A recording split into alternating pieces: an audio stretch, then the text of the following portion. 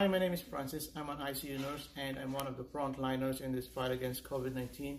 I felt there's a need, so I responded.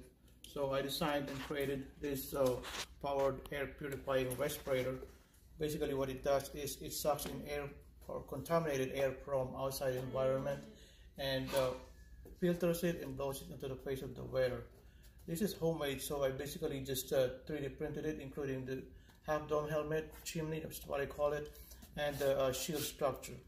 And I would say that this uh, uh, device is Frankenstein because parts are, came from different devices as well. Like this one here, the motor is a cooling fan from my old PC. This is a three pin, so I have to rig it so I can connect it and get it powered by my kids' uh, power bank like that.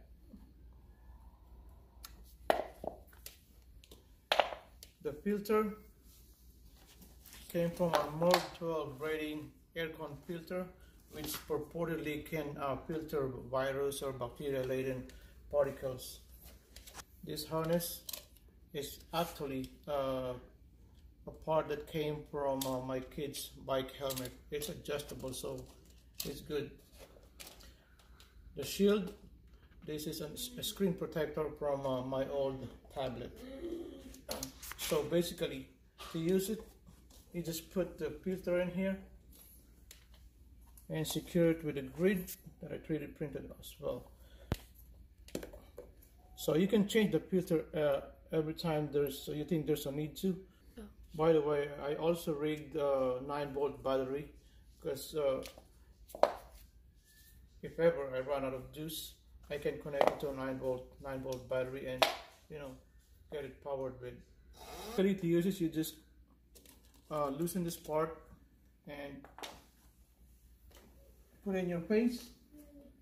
Make it's uh, tight and secure and then put in power supply. But before I do that, I'm going to show you that when I talk right now, it's it's fogging. So uh, once I power it on, it should go away. Now that the airflow is coming in, you can see it clearing up.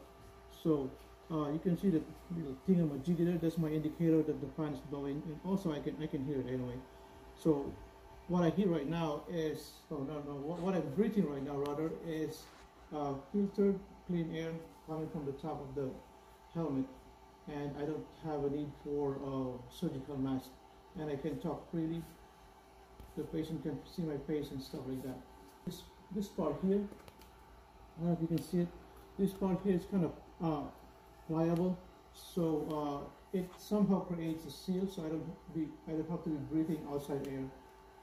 And I'm only breathing the, the air that's coming from, the filtered air coming from the chimney. To remove it, you just take, take it off from power, loosen it, and clean it afterwards. So hopefully this uh, this concept or this device will help us uh, help professionals in this fight against uh, infectious diseases like COVID-19. And that's all. God bless us all.